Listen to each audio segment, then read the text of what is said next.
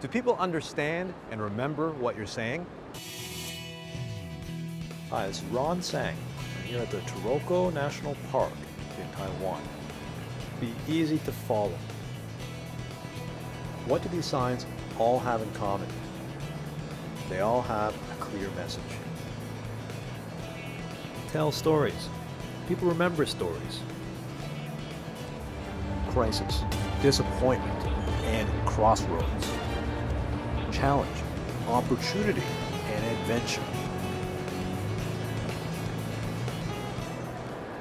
Everything should flow logically from start to finish, like a river. Make sure that people understand and remember what you're saying.